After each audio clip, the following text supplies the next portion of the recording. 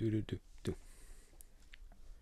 From Albert Pyun, director of one of the best fantasy films of the 80s, Sword and Sorcerer, comes the rap horror, oh the horror, 1999's Urban Menace.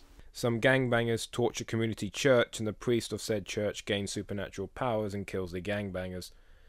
Also, one of the gangbangers want to get out of the hood and is helped by the righteous preacher, and I can't be fucked anymore, really. Urban Menace is 60 minutes of motherfucker this and motherfucker that, taking place in an abandoned Eastern European warehouse, photographed through a Vaseline lens, and later smeared with what surely is the worst colour grade I've ever seen in a widely released unquote feature. I had heard bad things about Pyun's contribution to the most unlikely of subgenres, the hip hop horror, and Urban Menace sure as hell disappointed. The script is littered with tedious action cliches and beyond forgettable dialogue.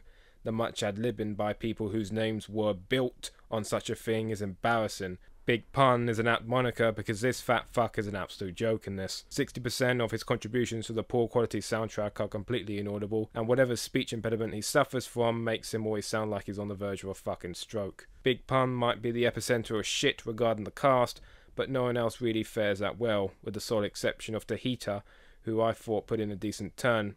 Not even Snoop Dogg, with his effectively slinky presence, has anything worthwhile to contribute to this soft focus blown out turd. In conclusion, Urban Menace is simply god awful.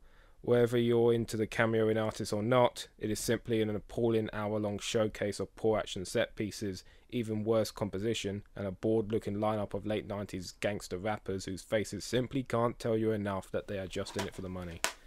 Just plain torture. Remember to like, comment, and subscribe. Tomorrow's film is 2001's Jason X.